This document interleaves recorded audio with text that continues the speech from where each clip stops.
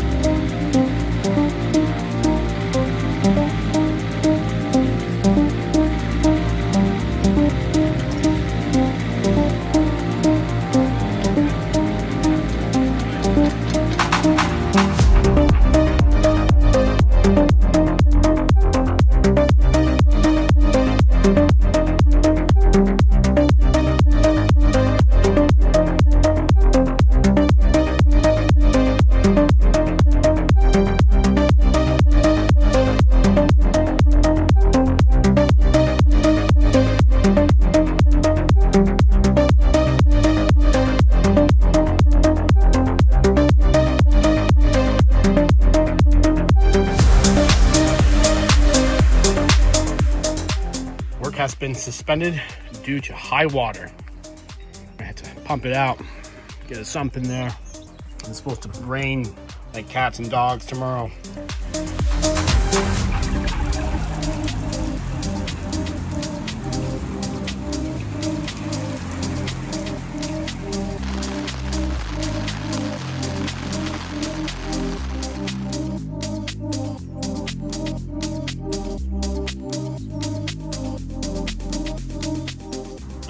Our trench, which is now a moat, falling day. It's still pretty high. So we're gonna try pumping some water out with this little sump pump. Get my helper here. Yeah, go ahead, plug that in. All right, so Ryan, we're just gonna lower it down.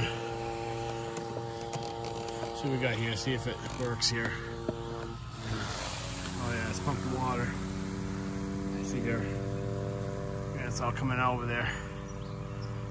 All right, guys, got the conduit in the trench now. This put me back about a week and a half due to the weather, but it's done. I'm gonna fill things in and we're ready to move on in the project.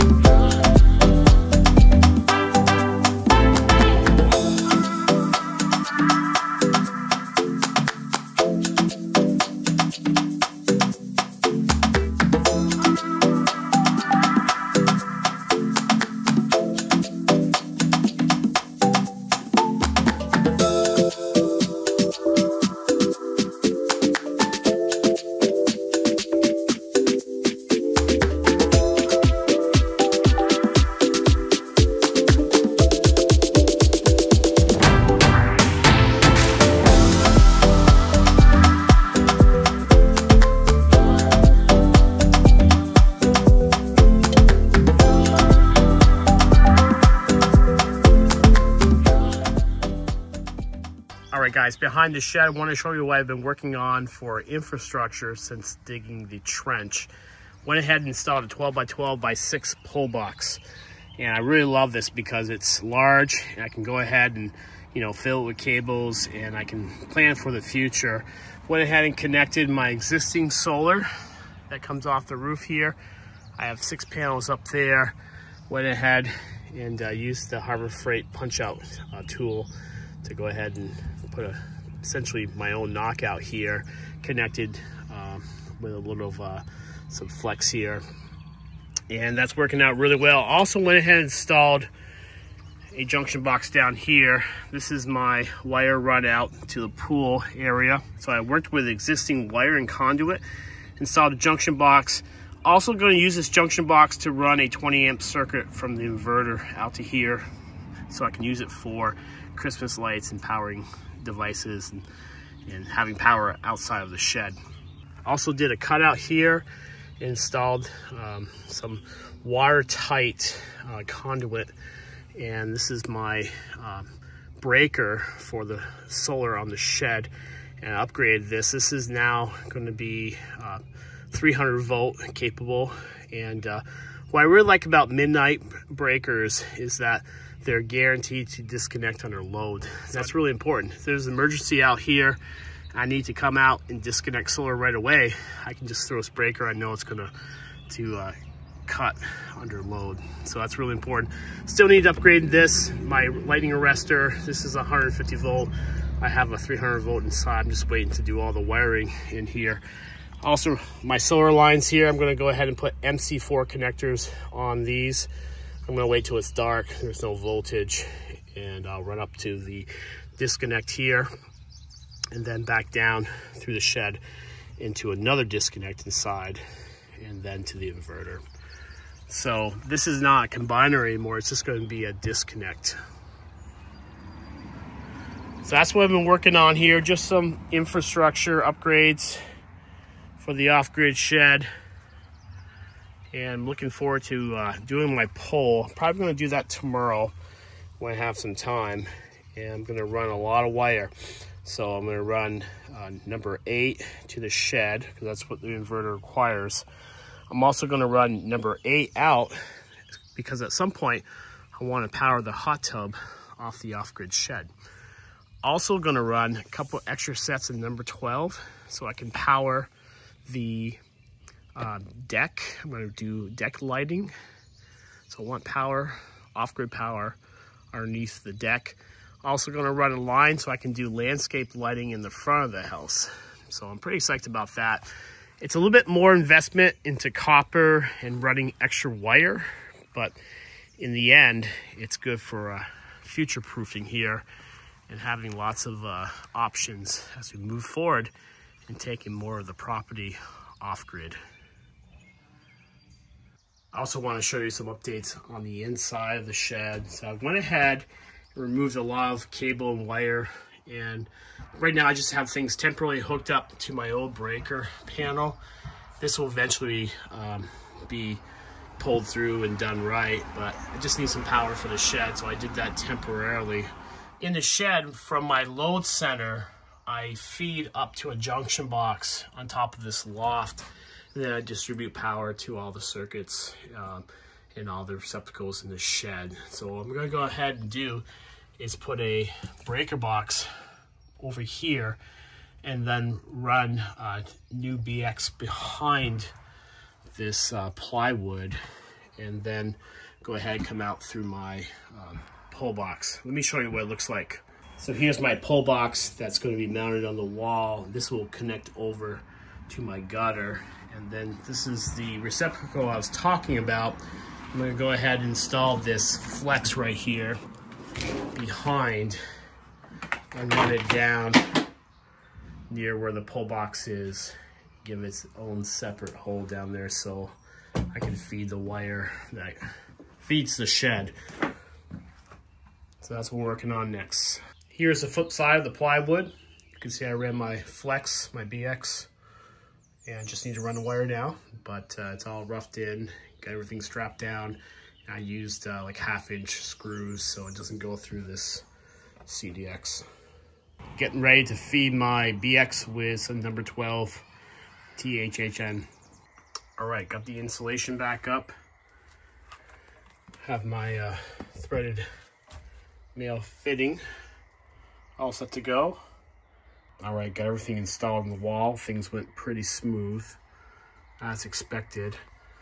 Gonna do my uh, wiring, just some temporary wiring. Just gonna do my temporary line, old power line. gonna just pull it out, put it into the old low panel, and then do some wiring here. Hook this up, um, and then just make sure I have power to the shed. This will give me time to run my new lines, my 240 lines from the house I'll run those into my new system, get power up to the shed.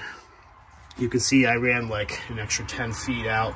This is uh, the new line that's gonna go to the new load center here. So I'm gonna go ahead and just uh, do temporary wiring for tonight. Then as we continue to have some nice weather, finally, I'll pull that new wire, run off the house 240 on the new system, and then continue to work on the solar as well as the batteries.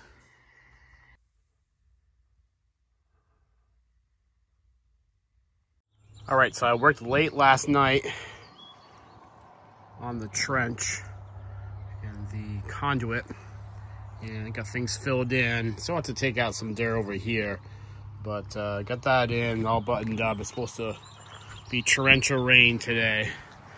I'm hoping that I can pull some wire before the rain starts. That would be most ideal because then I can start wiring I have to say the conduit came out okay, but uh, you know, I had some challenges here.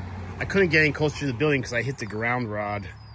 So I'm gonna have to 45 over to by uh, 12 by 12 by six box. That I got close to the post, I'm gonna go up and then under the staircase, I have another 12 by 12 by six uh, pull box.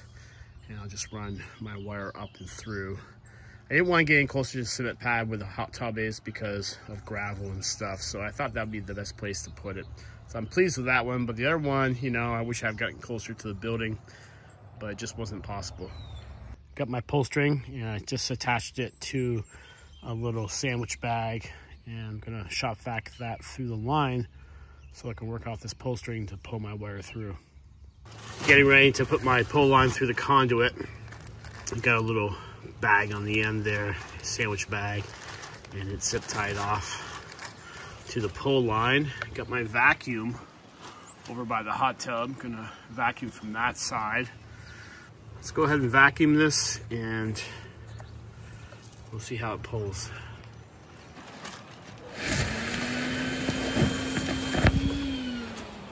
All right, guys, you can see I have different sets of wire. I got two sets of number 8 and then two sets of number 12.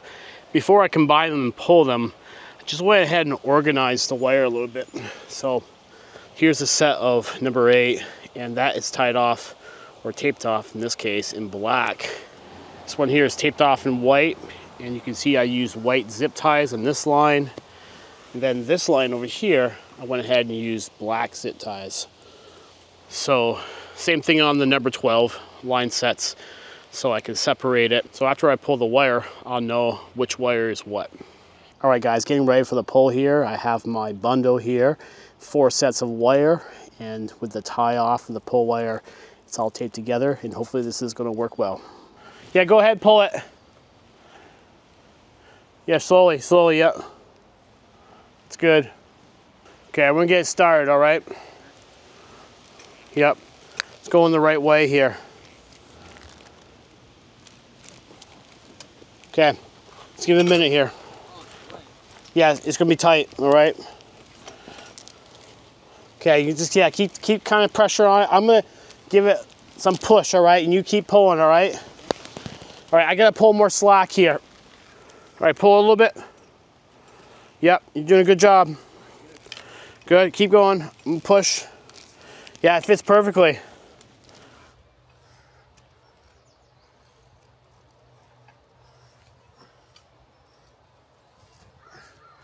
Okay, three, two, one, here we go. I got it. We got it, yep. Yeah. That's awesome. All right, here we go.